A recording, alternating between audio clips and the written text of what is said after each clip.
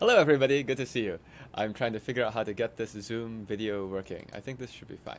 Ah, they keep changing this. Okay, well anyway, I guess you'll have a very strange view out of the Zoom thing, in the sense that you'll see the side view, which shows you that I actually don't have a blackboard behind me, but just a green screen.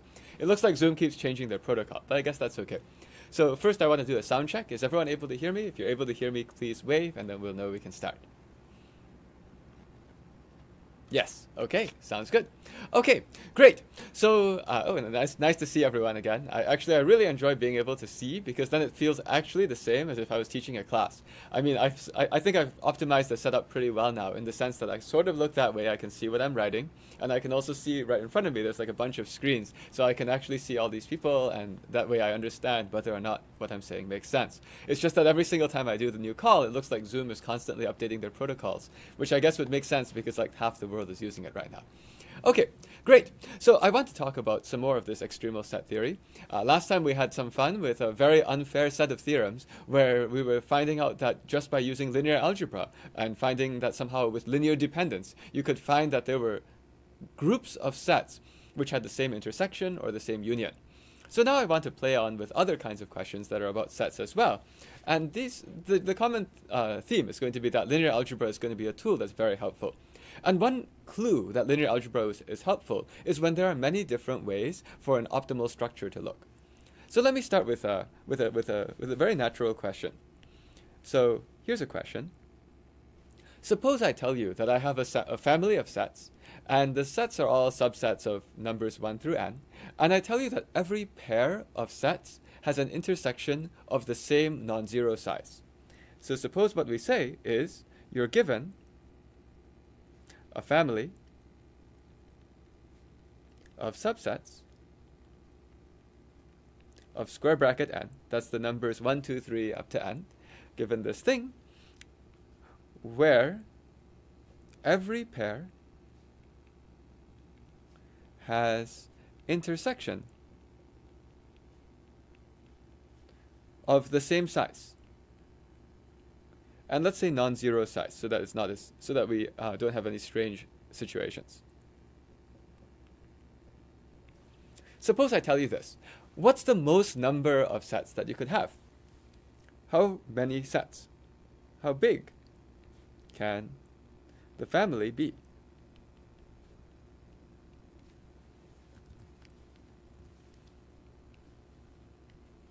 Does anyone have any constructions? Anything in mind? And here you see there's a there's not a very specific statement about how big that size is. So maybe you can get bigger families or smaller families depending on what that size is. But what, what would you say? Do you see any particular sizes that you can make? So let's talk about some constructions.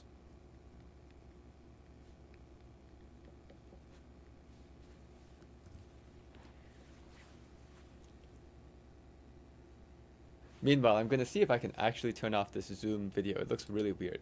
Okay, maybe it's okay now. I, I never quite know how their protocol works. But okay, good. So uh, what, what do you think?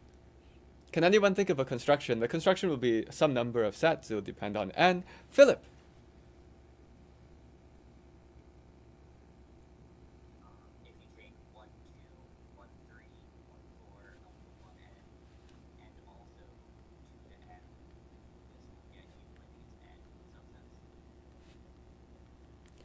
So something like this, up to 1n, and then also, oh, and there's another question, another idea is what about all the sets of size, all sets of size n over 2 plus 1. So I'm just writing all of these things down. Let's start looking at them one at a time. So I want to look at the thing in the yellow first. So this was the idea that you take pairs, uh, I mean pairs to be sets, and then also this big thing. I'm going to try to draw that because to me, I find it easier if I could draw everything. To me, it looks like the one is special in your picture, the yellow one. One is special, and then somehow you have all these sets which are going with the one, like this. And then there's also another set which is all of the other ones. So if you look at this construction, let's see, let's double check. So if I take any two of those uh, two element sets, their intersection is indeed of size 1. And if I take that big thing against the other one, any of the other ones, the intersection is size 1. So that does work. And the number of sets that we have here is, uh, yeah, so, so the number of sets that we have here is exactly equal to n minus 1 plus 1. So we have n sets. So here's one way to get with n sets. Is everyone with me so far? So this is one particular construction. The second one, um, I'm actually not sure the second one works. And the reason is because you need to have all of the pairs to have intersections which are the same size. So maybe I didn't understand exactly what the what the what the suggestion was, but it seems to me that sometimes you can have them intersect with like you know small number, and sometimes you can have them overlap with a big number. So I'm not sure that's exactly that that's going to work. Uh, although if you had something else in mind, maybe maybe it's something else related to this. So I'm going to take this one off. So, so far we have n sets. Is there any other way to do this?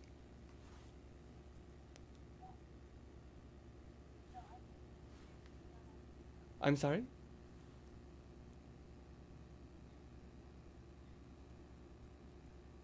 Ah, Kirtana, did you say something else? I, I'm actually...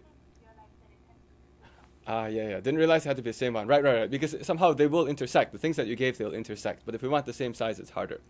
So we have one of these things which has size n. And that's like a pretty simple, simple construction to draw over here. That seems quite reasonable. Is there anything else that you can do?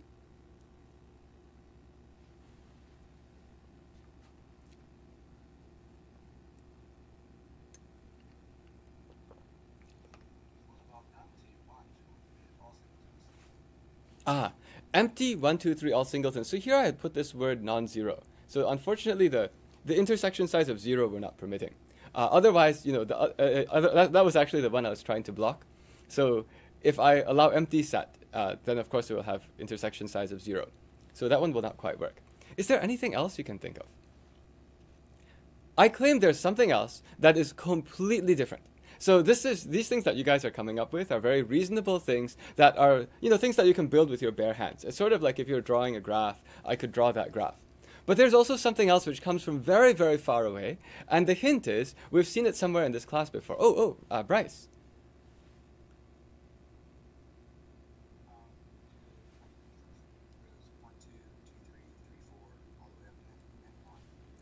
Oh, uh, like a cycle. One, two, two, three, three, four, all the way around. Up until n1. That's a cycle. Uh, there's a thing about this one though, because the, the, the pairs that are far away will intersect of size 0. And the pairs that are right next to each other will, will intersect of size 1. No, no, this, this is harder than it looks, right? So somehow this is like, it's, it's hard to make this one um, if, you're, if you're trying to draw it. Actually, the one that Philip gave was probably the lowest hanging fruit in the sense that that's probably one of the easiest ones you can think of. I'm going to say there's something else though. There's something else we've seen in this class before, and it was used to make a wacky construction. If you think about what kind of constructions we saw in this class, a lot were random, but there was one place that we had a very non-random construction, Philip.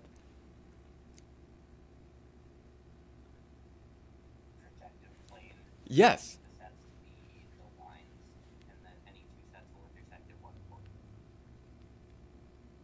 Projective plane. So now if I've got a projective plane going on, um, now I've got sets, and the sets are kind of bigger, right? So somehow each line, each line is a collection of these um, of these points, right? So what I'm trying to say is that my numbers, my, this doesn't work for all elements. This doesn't work for all values of n. But if n is the number of points in a projective plane, meaning if there exists a projective plane with n points, so a projective plane, if exists one with n points. Now these these are these are not like numbers one, two, three up to n anymore. We're thinking of the one, two, three in bijection with the points of a projective plane. And now each of those lines, each line is the set of points it contains. Now we also know that every two lines intersect at exactly one point. let me draw a picture that shows that this is achievable. So I'm going to use the next screen for that. For the picture, I'm just going to say, let's do the standard Fano plane, which has seven points. And what these points are, are they're like the, it's this diagram where you draw a triangle, you draw the midpoints of the triangle, and you draw the point right in the middle. And now these are the seven points. And what are the lines? The lines are normal lines.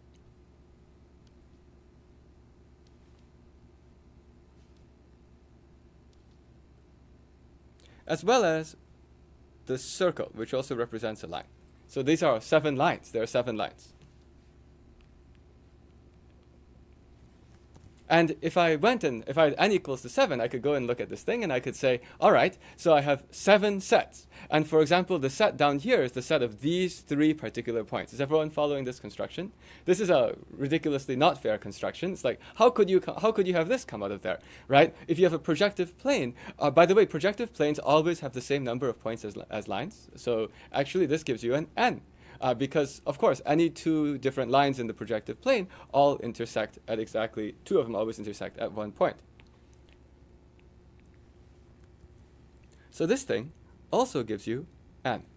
And there are actually infinitely many projective planes. If you remember one way of constructing projective planes, let's just do a reminder.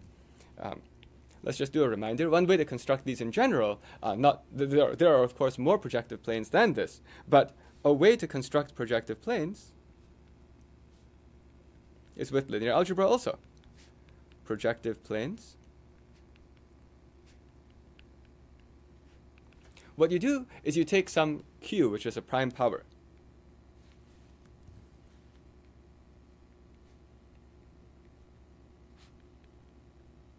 And then what you do is you work over the finite field FQ three-dimensional vector space, and you say that one-dimensional subspaces of FQ three-dimensional space, those are points. And if I have a two-dimensional subspace, then that is a line. And at this point, it's straightforward linear algebra right? If, if I have linear algebra, well, the number of one-dimensional subspaces is the same as the number of two-dimensional subspaces. You can even think of this sort of like in some sense of duality, but uh, we even counted earlier like exactly how many of each there were. And if I have any two two-dimensional subspaces in a three-dimensional space, they will always have an over overlap of a one-dimensional subspace. So boom, we got that. And, and so there's only and there's only one one-dimensional subspace in their overlap. Okay, so now we know that there are two different constructions. And the two different constructions could not be any more different from each other. One of them is this simple thing that you can draw. Oh, Faye, you have a question.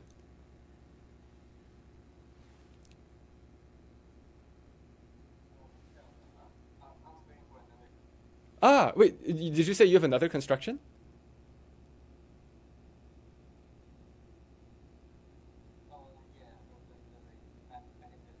Oh, oh, actually, well, okay, so, so we'll, we'll, get your construction soon because I'm also interested in it. My point I want to make is that we've got two really, really different constructions now. One is something you can draw, one is something you use linear algebra to get. And now I'm curious, Faye, what is your construction? There's another one.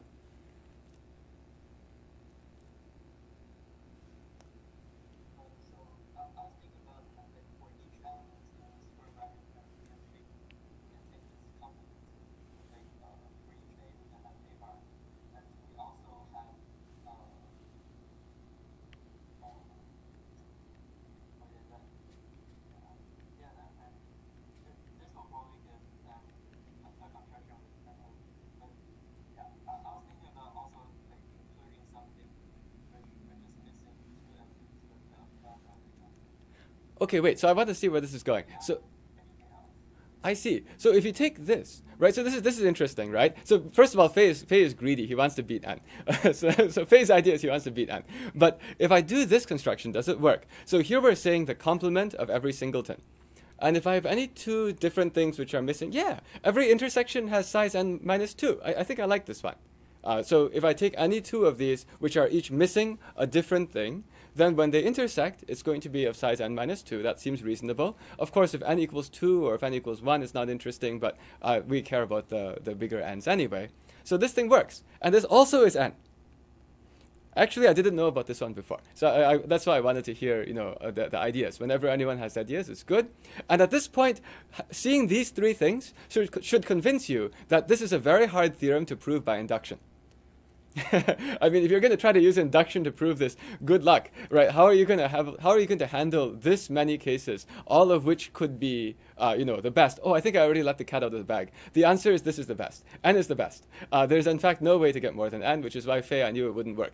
Uh, somehow there, there's a there's a theorem. The theorem theorem is called Fisher's inequality, and if you have this Fisher's inequality, then in fact there's nothing you can do more than n. n is the most, and now we want to prove it.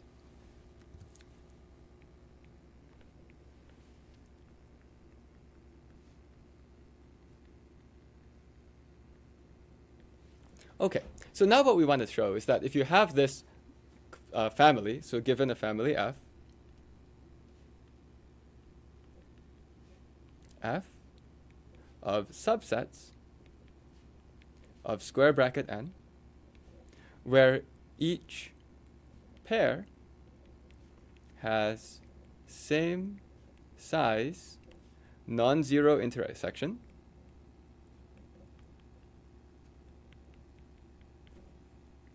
Uh, okay, it's the same non-zero size inter intersection. It's just non-empty intersection. Uh, what this says is then the number of sets is at most n. Okay. Now we want to prove this. Okay. So I think the first thing we need to do is we need to think about how this could have anything to do with linear algebra. And in fact, the hint was because we had this projective plane, there's some linear algebra something in here. Because one of these extremal examples is extremal through some, some thinking about linear independence and subspaces. So in that case, we need to use something about linear algebra. Also, there's conveniently an n here. And there's also an n there. And so linear algebra usually has things talking about if I've got linearly independent, um, you know, linearly independent vectors, there, there will be somehow at most n of them. The problem here is it's not quite clear what independence, linear independence, would have to do with anything. Until you realize that intersection of sets is deeply related to inner products. So now we're not going to work over F2. The, the, in fact, this is not a, it's not useful to use a finite field here. But the very interesting observation is, as we have seen so far in this particular unit, in this particular section, what we want to do is for every set, we want to associate this characteristic vector, which has zeros and ones, telling where the set has elements. So what we're going to do is for each set,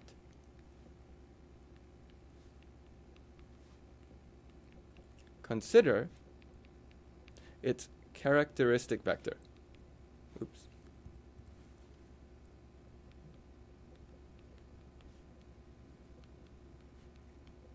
Over Q. Q is enough. I just want something where I can keep adding.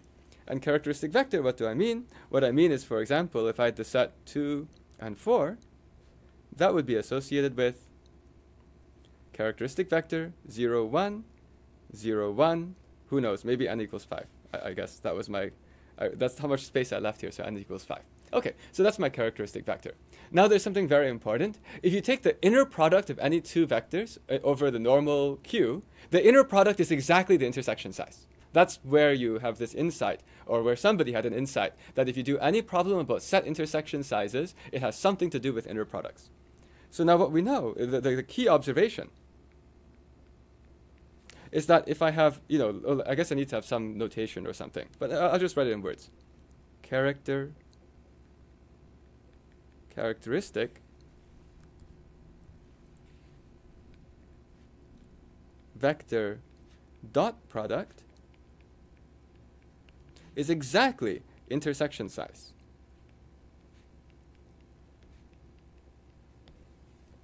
Okay, so now once you have this kind of a situation, at the beginning, you, you, it looks like it has a very systematic, uh, it's, it's, very systematic. Because, for example, if I have any two of these different characteristic vectors, then their dot product is going to be the same. So I, I sort of have, it's not, I mean, in linear algebra, you often think about things like I have an orthogonal set. You know, like an orthogonal set is, or an orthonormal set. An orthonormal set is something where every time I take an intersection, the, sorry, anytime I take a dot product, the dot product is zero. Here it's not quite. It's like somehow the inner products are all the same, but they're not zero. And so we'll need to do a little bit more than what we did way, way, way earlier in this class when I was talking about like the odd town, even town problem of you know some things with even size intersections. Those were basically just pure orthogonality. Here we have something different. What we have here is that their intersection size is something. Let's give a name for the intersection size. Let's call it lambda. So dot product, and let's call it lambda. This is just going to be for this particular problem. So there's going to be a lambda. I should probably let right above this observation, I, I should say, let lambda be that intersection size. In the given statement of the theorem, I don't know what that intersection will be, but I can say now I've gotten this system of stuff, let lambda be that intersection size. Let lambda equal that intersection size. Now, actually, this is not completely done though. What I have here is the, char the characteristic vector dot product between different ones is lambda. But if I take a vector and dot product with, with itself, I don't yet know what that might be. That's, an, uh, that's a very important detail because if you think about orthog orthogonal or orthonormal sets in normal uh, linear algebra, the reason you know that the biggest orthonormal set is of size n is because the set is also not orthogonal to itself. Like the, the I mean, sorry, not, not set, the vector. The vector is not orthogonal, orthogonal to itself. So I do need to know what happens with like something dot product with self. So here's another observation or like something to think about. It's what do, do I know anything about vector dot product with itself? Here's another observation. Uh, let's, let's say each. Each vector dot product with self. Can anyone tell me a fact about dot product of a vector with itself in terms of lambda?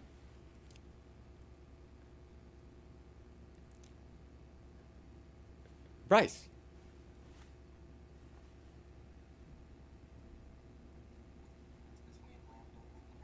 Okay, so this is it's bigger equal lambda, and of course it's less than n.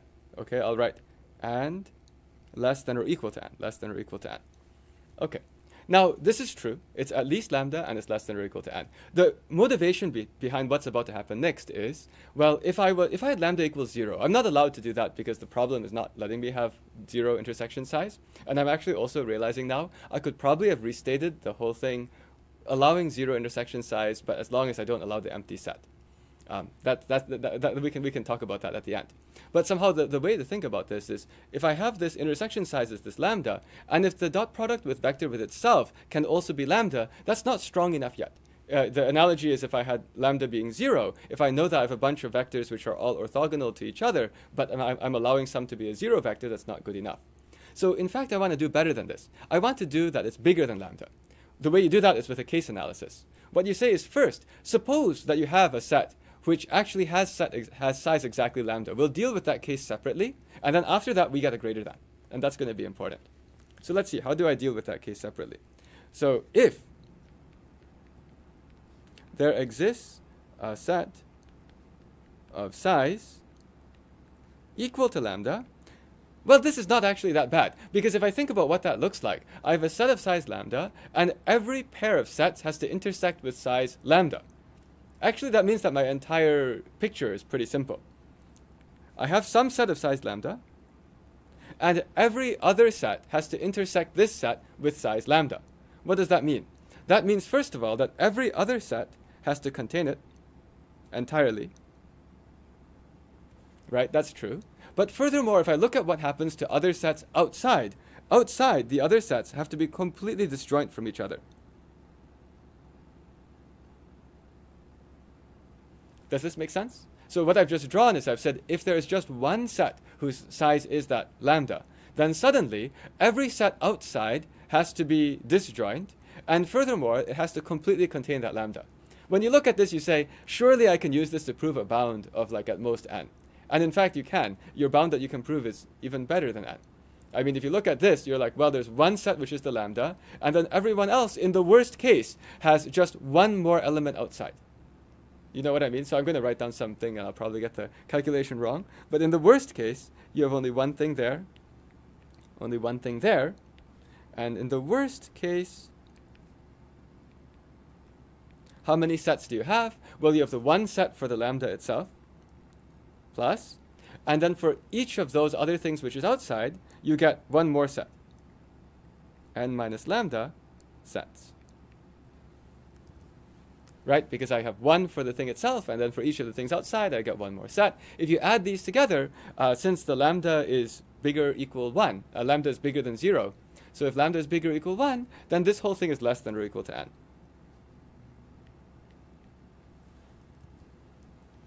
So this is one way of proving the result uh, in this particular case.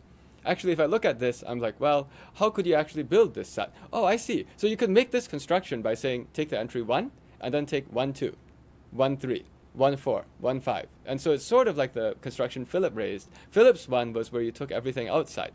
And instead here, you just also take that one in there instead. Not also, you take that one inst- inside instead. So we've got all these different constructions. Okay, but once I've got this, I don't need to worry about this case anymore. And now from now on, every every pair of vectors has a dot product equal lambda, and vector dot product with itself has has dot product strictly bigger than lambda, and lambda happens to be a positive number. Okay, so now it becomes a linear algebra question. So continuing the proof, now I have some vectors in q to the power n, right? And what do I know? I know that lambda is a number which is at least 1. And I also know that any two vectors have dot product equal to lambda, well, any two different vectors, any two different vectors.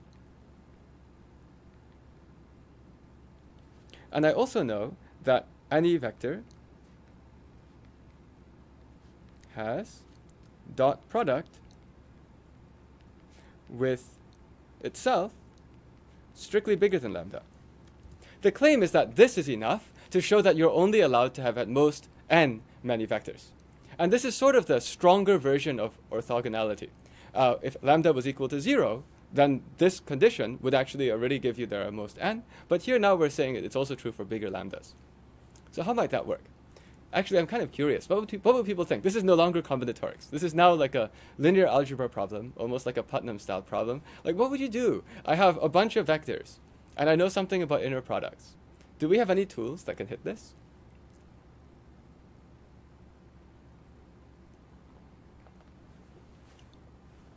It feels true. Ah, Faye.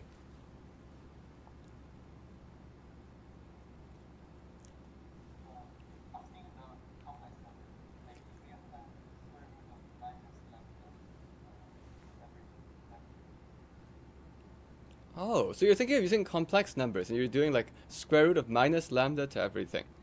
So that that could work. I guess I don't know how to make that happen yet. So I, I'll say I, will say I don't exactly see how they use the complex numbers to hit this.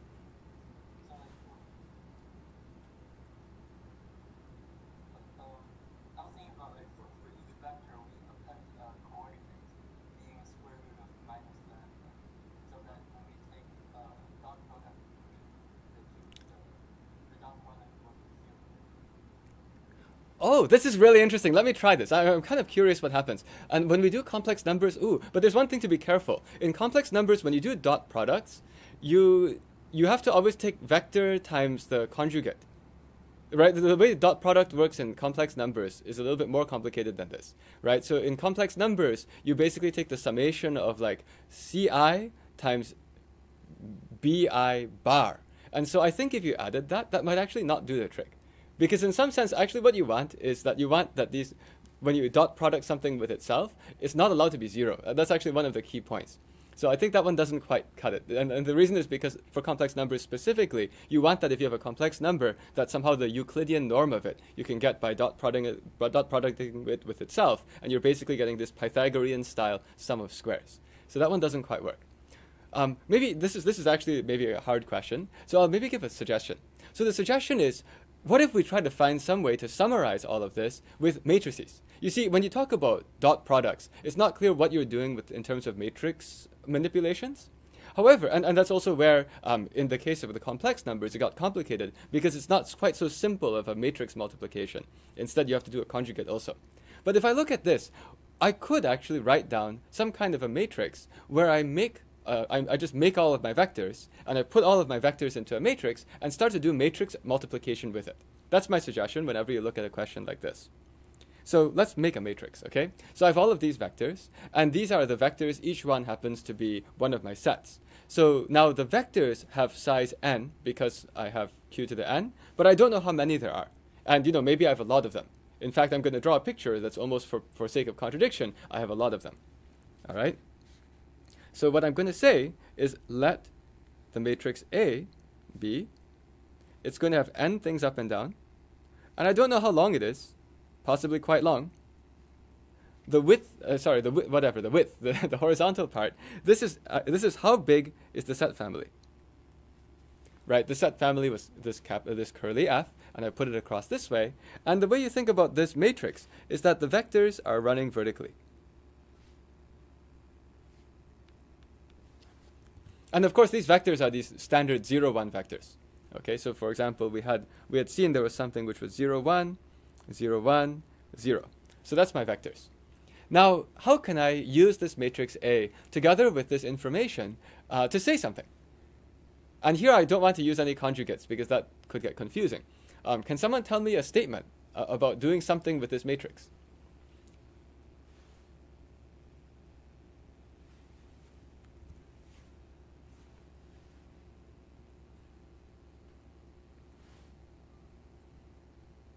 I want to capture the dot products. So there's going to be some multiplication. Ah, Tingwei.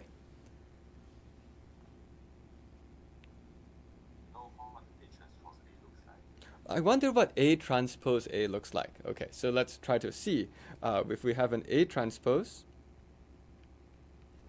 A transpose is going to look like this. It's going to be now tall. And I, I wrote it longer because that's the almost for contradiction. We'll see that something breaks. And then multiply by A. How does this look like? Looks like this. And here are my vectors. And here are my vectors. Good. I like this. The reason I like this, uh, just a second. The reason I like this is because when I multiply these, these are dot products, right? I will take a vertical, a vertical thing and a horizontal thing and put together. So when I do this and I multiply, I'll get what kind of an object? I'm now looking at my dimensions, right? So if I multiply these things together, it looks to me like what I'm going to get is so yeah, it looks like I'll get something huge. When I say huge, I was just wondering which one is is it going to be like the long dimension or the short dimension? And in this particular case, it will be the you know it'll be the other dimension. The other dimension is called how many things are in f. Right, so I will get something which is f by f. Okay, and I get this picture. And in particular, oh yeah, that, that also makes sense because every single um, every single entry inside this huge thing is just saying that particular set in F and the other particular set in F, what's their intersection size? And in fact, their intersection size is basically all lambda, with the exception of the diagonal. So all of these are lambda, the diagonal, I don't know. It's not it's not all the same. Like the diagonal is not all the same number, but every single number in the diagonal is some number which is bigger than lambda.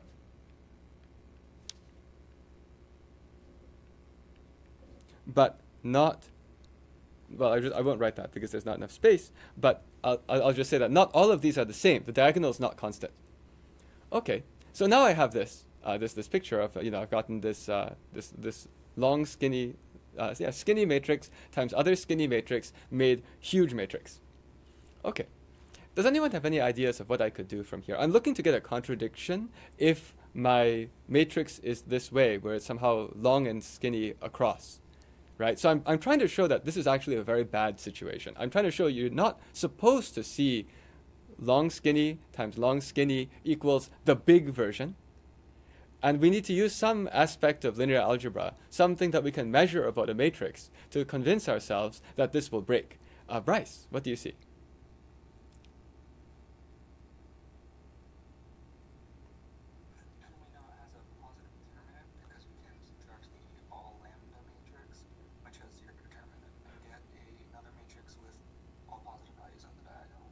Oh, okay. So now what you're saying is that this thing over here has non-zero determinant. Uh, so now, now we're just in, in this game we go and throw everything we want from linear algebra to so- solve our problem. Um, wait a second. So I want to hit that one more carefully. So I don't completely know why yet this has non-zero determinant. Well, okay, it's true. This has non-zero determinant. That's going to be a very important piece of the proof. But why? Uh, and you're saying because you can like subtract some amount from the diagonal, and then you get this all lambda matrix. But I, I guess I don't know how that's a proof yet. You're right that somehow this thing has non-zero determinant, and there are different ways to prove it. But how does your proof work?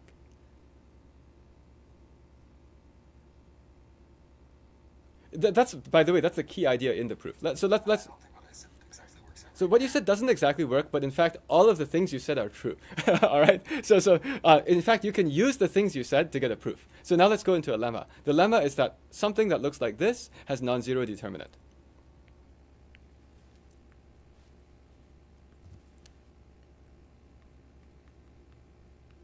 For any lambda, it's actually true for any lambda bigger than zero, so any positive real number. Actually, it's also true for any lambda bigger equal to zero. Let me do that. For any lambda bigger equal to zero, and this is like even true for real numbers, uh, even real numbers, meaning it doesn't have to be an integer. Okay, if I draw this, uh, what's important is that the, let's just write that the matrix is non-singular. So the matrix, which consists of uh, this all lambdas except the diagonal, where on the diagonal it's bigger than lambda, not necessarily constant, is non-singular. And now the proof, the first step of the proof is what Bryce said. Bryce said that somehow it looks like you can take an all lambda matrix and add something to it. By the way, a matrix where all the entries are the same is called J. So in, in what we're going to do for this lecture and next lecture, maybe a few more, is that the capital J is going to be the all ones matrix. So this is lambda times J plus something else. And the other something that I have is going to be a very special form where I have this, I have the diagonals, the diagonals now, what I have for the diagonals is everything in the diagonal is positive. And I also have 0 off the diagonals. Okay, why is this useful? So I now wrote lambda times j. j, by the way, is the all ones matrix, so maybe I'll, I'll note that. So j is the all one matrix. Okay, and lambda times this, okay, I've got this sum.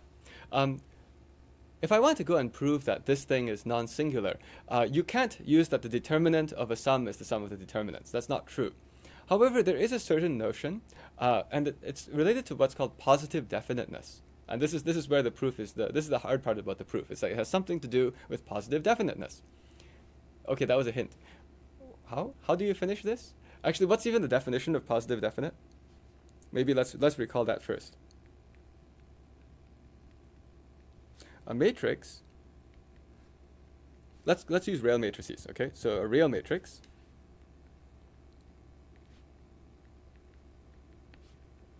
is positive definite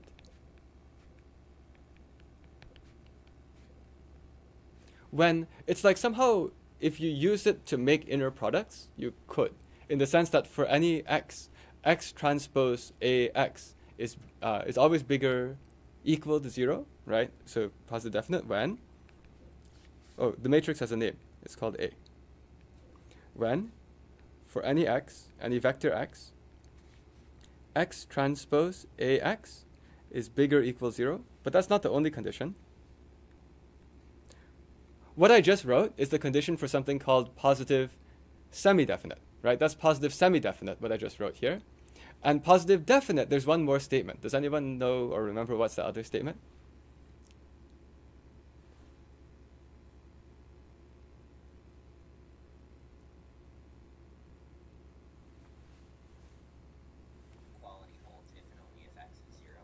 And you get equal to 0 if and only if x is the 0 vector.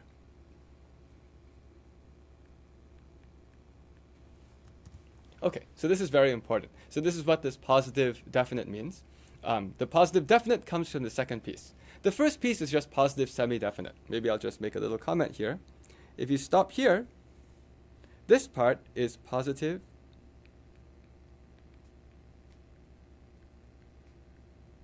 semi-definite.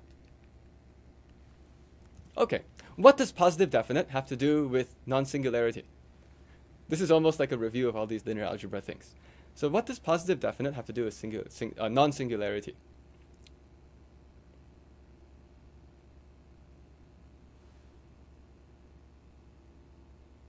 Or rather, I'll say a matrix, if a matrix is positive definite, then it is non-singular. So that you can go positive definite implies non-singular. And why?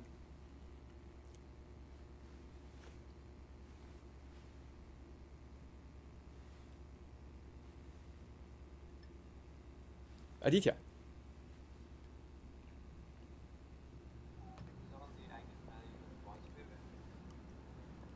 because all the eigenvalues are positive. Uh, that's one way to do it. Uh, so that's one way to do it. Uh, but at the same time, I was hoping for something even more trivial. So, so yes, yes, you can use eigenvalues. So somehow, if you have positive definite matrices, the eigenvalues are all positive. But there's something much easier. Non-singular. Okay, what would it mean to be singular? Singular means that there is an x so that a times x equals zero. Use that x. So the singular. I mean, again, your proof is fine. But the simple, the simple explanation is, if it was singular, there's a non-zero x so that ax equals zero. Use that x. Put it here. You already get zero for ax. Don't care about the x transpose. It's zero, and then so you not you will not be positive definite. But this also shows that positive semi-definite, you could be you could be singular with positive semi-definite. Positive definite is how you know it's not singular. Okay. So I, I, will not write that down, but that's that's somehow this is quite standard that this this particular positive definite uh, can be used in that way to prove non-singular. So I'll just make that as a, a little arrow that says positive definite is always going to give you non-singular. Okay? So then in our in our in our proof we will want to show that this particular sum is positive definite. And this is where Bryce's idea comes in handy, right? We cannot add determinants. You cannot go and say determinant a plus b is the sum of the determinants. However, there's something nice about positive definiteness and positive semi-definiteness. If you add together two positive semi-definite matrices, the answer is also positive semi-definite.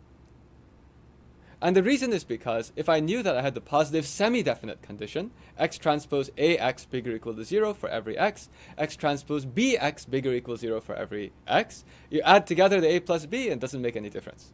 Okay? So positive semi-definite is, is sustained if you add. Now, something that's good is that j is positive semi-definite. Why is j positive semi-definite?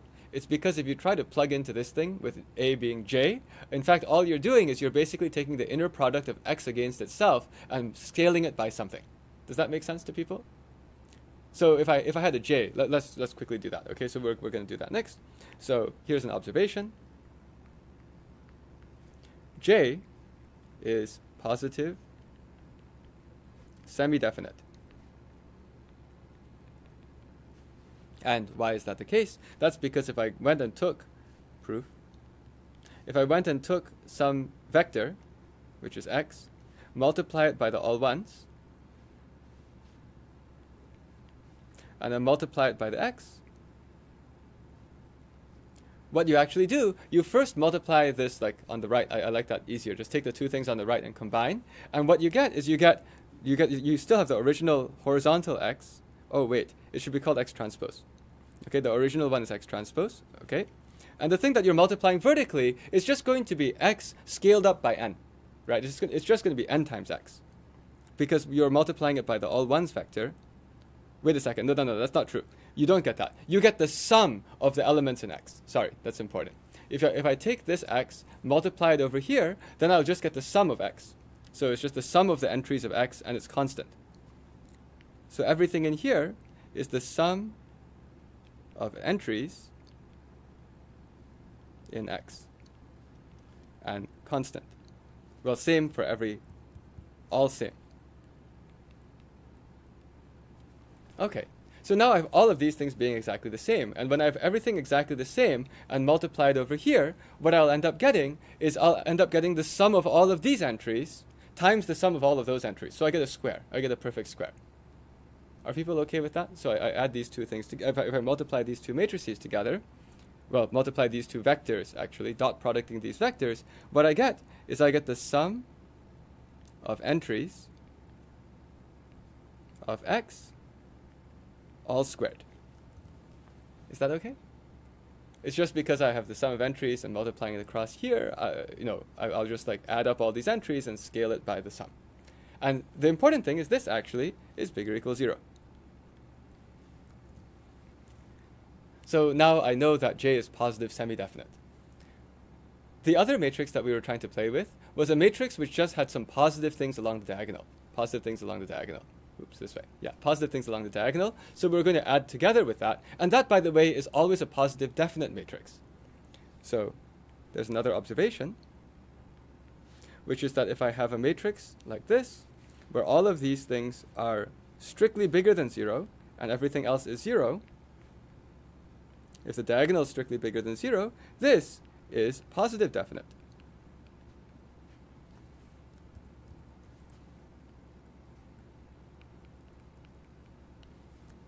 And the reason this thing is positive definite is because if you try to do this um, x transpose times this matrix times x, in fact, what you're getting is you're just getting some combination of the squares of the xi's.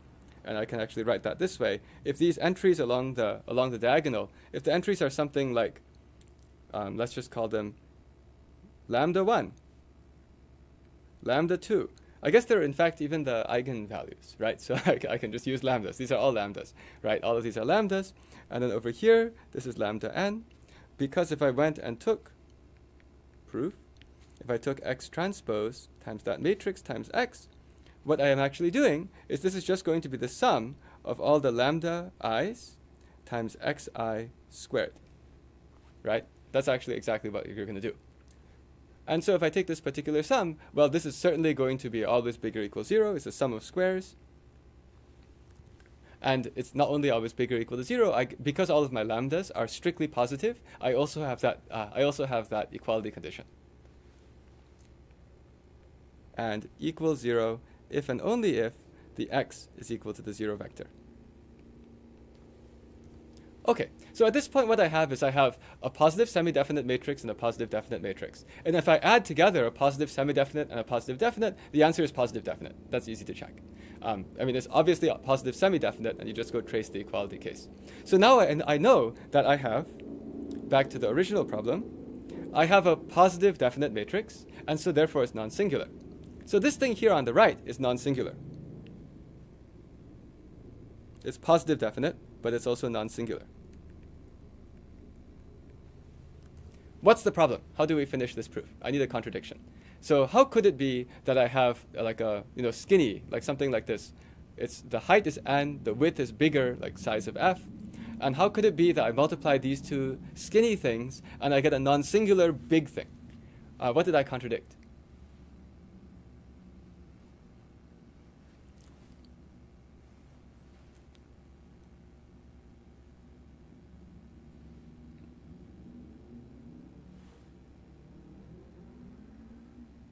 It should make you feel very uncomfortable. Like this is not supposed to happen. Philip.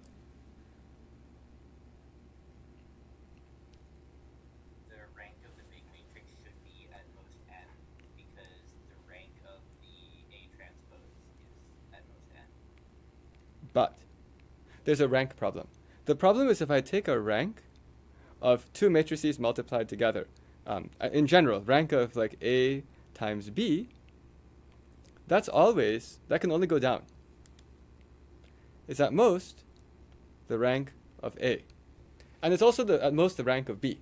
And the reason is because rank is something like, it's sort of like the dimension of the row space, or the dimension of the column space, we could think of it that way.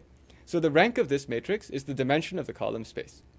And if you multiply these things together, what you're actually doing is that you're going to get a linear combination of columns. So every column that I got here in the, in the result is a linear combination of the columns that I started with. Is this making sense?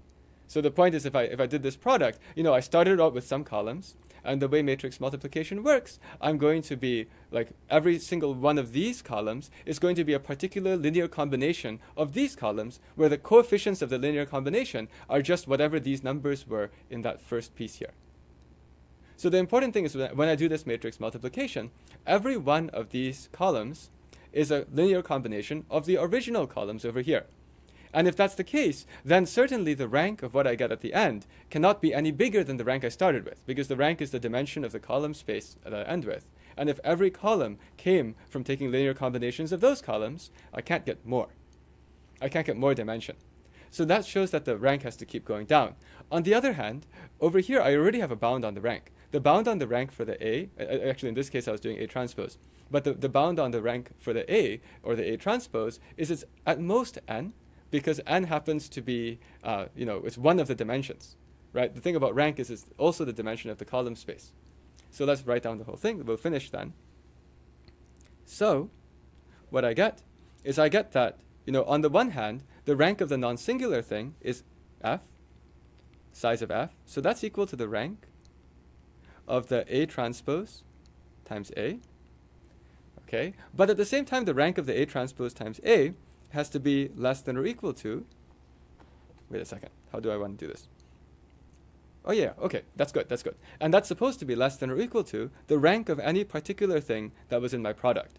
You know, I could write rank of A, I could write rank of A transpose. Uh, this thing, rank AB less than or equal to rank A, is also true that rank AB less than or equal to rank B. Uh, and you, to, do, to do that, you just play with the rows, the row space instead. But once I write this, the rank of A is also at most n and it's at most n because of the fact that n is one of the dimensions. So this actually finishes the whole proof, because the size of the set family is at most n. Uh, you could have used this to get a contradiction if the set family was too big, or you don't even need to use contradiction. You can just go and say, look, I wrote down some statement which is true. It's just that I multiply matrices and I have some new thing I made. That new thing I made has rank at most, uh, sorry, that new thing I made has rank exactly equal to size of f. So then you just follow the inequalities all the way across, and you get the size of f, the set family is at most n. And that finishes it. So that's actually this proof of this Fisher's inequality. Uh, the, the, the, key takeaways are somehow if you are doing anything with set intersections, it's useful to do inner products, but it's hard to deal with inner products, so it's a lot easier to deal with matrix multiplication instead, at which point your game becomes usually a game of ranks. And if you're playing a game of ranks, then you need to have an efficient way of showing matrices are non-singular. That, uh, that actually comes from wanting to add matrices together, which you can't do with determinants, but you can do with positive definiteness. Okay, so that finishes this. Um, does anyone have any questions about this?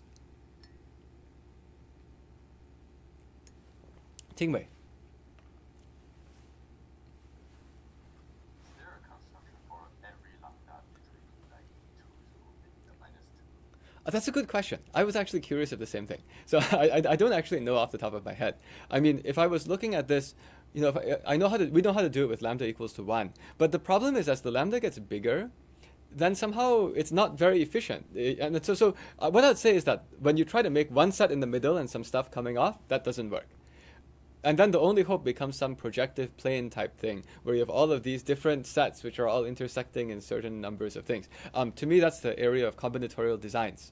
So the answer is maybe, but I, I, don't know enough about combinatorial design theory to give you an answer for that one. And in general, making those kinds of constructions is very hard. Combi- combinatorial design theory is very hard because you're supposed to come up with all of these different sets, and they're supposed to have certain intersection properties. And oftentimes those come from things like algebra as well. So I don't have a good answer off, uh, off the top of my head for that one. I was actually curious about that myself as I was thinking about this just now. Other questions? No? Okay, well, in that case, we'll continue next time. So I'll see you everyone on Friday.